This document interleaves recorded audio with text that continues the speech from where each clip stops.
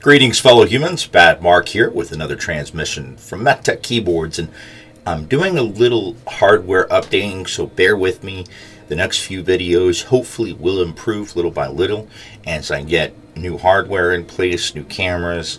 Um, it's Christmas time, so I took it to buy some well, I primarily use some hardware I already had laying around, but bought some parts that I need to get everything working together. So hopefully I can get my 4K, my audio, everything working as best as possible with what I have. Obviously, I'm not a professional videographer, but I'm doing my best to bring the best experience. Obviously, it's hard to watch something when it's grainy or the sound isn't good.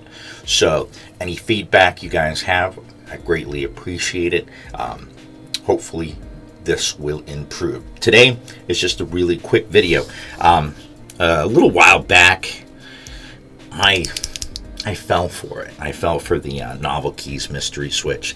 Now, back a little over a year ago, maybe two, before Novel Keys moved into their new office, they had a really good um, mystery switch uh, sale that went on for a few months. I want to say about three or four months, and they did. There was baby kangaroos, there was oil kings, there were oh, just a ton of good switches that you could get. I mean, yeah, every once in a while you would get a switch that was meh, but um, the last time that they did it again a few months back, I want to say earlier this year, and I fell for it. I was like, ah, even though I, I really I've had bad experiences with novel keys. Let's just leave it at that. But I went ahead and bought three packs. And what I received were Kailh Reds, TTC Reds, and Gateron Milky Reds. I, all of the switches that I bought, I could have bought cheaper from AliExpress than what I paid for it. So, um, despite there being one or two posts that I saw people getting some actual you know, decent switches. Majority of people got these. So these have been sitting around for a while, and I mean, I'm not a big fan of reds to begin with, but I do like the sound of the what I believe is a nylon housing the Milkies use.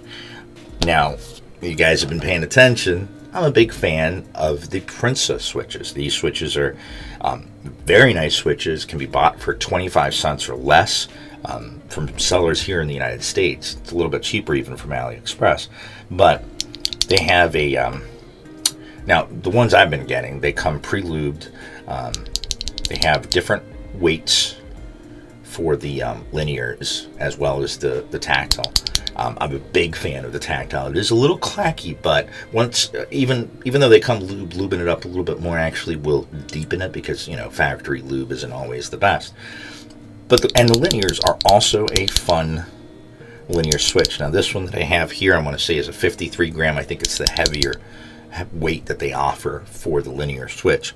So uh, now, being that this one is a fun switch, a little bit of a clacky switch, but it's got a nice long pole uh, stem. It has a very nice sharp bottom out, and um, the weight is just light enough for me. 53 grams. Anything lighter, uh, I mean, there are some switches that are in the 40, 45 gram that I like, but this is kind of like the perfect for linear for me. I prefer even heavier if I'm going tactile. But I was like, I wonder what the stem of the Princess, the MMD Princess, would be like in a Milky housing. So I took the spring as well as the switch and I put it into these red housings and I made what I'm right now calling the Milk Princess because this is a very the it, the sharpness has gone up. The um, the bottom out is definitely more I don't know satisfying, I guess you could say, and it's uh, it feels and sounds like it should be a much pricier switch. So, um, and even the ones that are left behind afterwards, which I haven't really come up with a name for yet, but it's the red stem with the with the spring from the red switch in the housing of the um, Princess. Now, it doesn't have the long pole, so it's more like a silenced red, but I think for some people, because it's not a silenced like it's got a silencer on it, but it is. It's pretty quiet, and um, I've yet to load them up on a board, but I tried three next to each other, and they're actually not that bad. So the star of today's show is the Milk Princess, which, like I said, uh, in this case has the 53 gram uh, two-stage spring from the uh, Princess, the MMD Princess, and the nylon housing from the Gateron Milky Red. So on today's Franken Switch Friday, I put together the Milk Princess, and I've gone ahead and loaded it up on Yes, a GMK 67. now, this is a stock GMK 67, but it's the newer revision. For those that don't know, the newer revision of the um, GMK 67, um, and I actually found this out before I got one myself uh, because people were like, I got my GMK 67, but there was plastic over the PCB, so I had to take it apart and take out the plastic. And as soon as I received mine, I was like, no. And I made a video. I'll link it down below if I remember. But it's basically like, don't take out the plastic, leave it in. Maybe help it by punching a hole through it. But that plastic is what's called the PET mod, which a lot of newer keyboards are using. And so this one has that. But other than having the PET mod, and one of the ways that you can tell real easy is, well, obviously before you put a switch in you'll see that there's a little bit remnant of the plastic there but there's plastic over the LED now this is basically a layer of PET plastic. I want to say it's one mil but it might be two mil. Um, I've been having a lot of luck with four mil and I've also been having luck with LDPE or the plastic that Ziploc baggies are made from. Just cutting them open and using them as a layer and placing it on top of the PCB, but below the IXPE sheet. And of course, we don't have IXPE, PE foam work just fine. So this is a completely stock um, GMK67. Um, had a lot of friends recently. Actually, it, it's funny how people like at first are like, "You're into mechanical keyboards? What's that?" But then they come across one through some other means and then they're like, wait a minute, you're into keyboards, right? Could you help me with a keyboard? So a lot of uh, friends have been very interested and satisfied with the GMK. I've had friends that were like, there's no way that I could use something that didn't have the function row or didn't have the. And then I show them layers and I show them how the function keys work. And 99% of the time, they're like, yep, that's fine.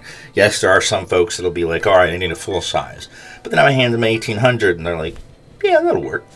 But by far, the GMK 67 has been a very popular contender, especially for the fact that nowadays, I mean, it might take a little time, but I've gotten them as cheap as $17 and on average i see them from anywhere from 23 to 28 dollars but always less than 30 if you're paying more than 30 dollars for a gmk67 you're paying too much. Now i know they do sell them on amazon and they're about 50 60 bucks and some people prefer you know buying from amazon. If there's a problem they can return it within 30 days and you know they're going to get it in a day or two depending on prime. So I, just know that AliExpress and shipping from China, where it used to take weeks. I mean, I remember stuff taking five, five, maybe six weeks, is now taking days. I've ordered stuff from AliExpress and received it 10 days later, 10 actual days. That's business and weekends included. So, um, the shipping from China has improved significantly. I don't know if it was the pandemic or what, because that did slow it down for a minute. But then all of a sudden now we're getting I mean, shipments so quick that I'm just like, wait a minute, I just ordered this. How am I getting this? Because I, in my mind, I have a two week buffer. I try not to even think about what I ordered, but I won't even hit that buffer because it'll arrive before then. So anyway, I've loaded this GMK67 up with um, my Milk Princess, and I'm going to go ahead and leave you guys with a sound test of this um, this switch, this Franken switch, because today is Franken Switch Friday. Um, I'm going to try to do this more often. I love playing around with switches and making new switches, especially from, you know, maybe not. I mean, obviously the, the, the, the red isn't necessarily my favorite. I am a fan of the Princess as a linear, but I prefer the tactile. So when a linear hits me good, it's usually a pretty good linear, in my opinion, anyway. So I'm going to go ahead and leave you guys with a sound test of my Franken switch, the Milk Princess, and it's loaded up on a GMK67, and this is a mix of Dolch keycaps. Uh, this is from um, uh, Yongqi, and these are from two different. Well, they have those sets that are like really like two sets of, of keys, um, and this is from two different sets of Dolch, of modern Dolch and a Cyan Dolch. I forget their names. There's so many Dolch out there. I've got Evil Dolch, which is black and red, so who knows. So this is uh, just a double shot. I think these keycaps are 1.3, 1.4. Yeah, 1.4 uh, millimeters in thickness. They're double shot. They're actually pretty good. I like them. I've not been dissatisfied with any of the Yongqi sets, and usually I can get them for 20 some dollars. Um, and I mean, for 28 bucks to get actually two keycap sets, or really, you know, two different keycap sets that you can mix and match.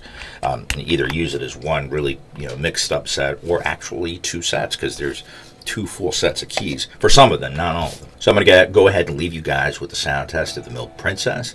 Uh, like I said, I'm upgrading some stuff, so bear with me as I get everything tuned and working as best as possible. I have a new video workstation, so I should not have the frame dropouts that I've had in my last two videos.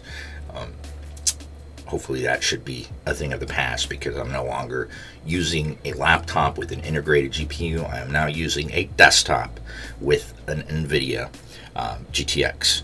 And so that's handling all of the encoding. I mean, my CPU is sitting nicely at 13%, 14%, and it says it's doing 30 frames a second. So let's hope that that remains in place and that my videos will be of better quality as I move forward. Anyway, until the next transmission, keep calm and keyboard on.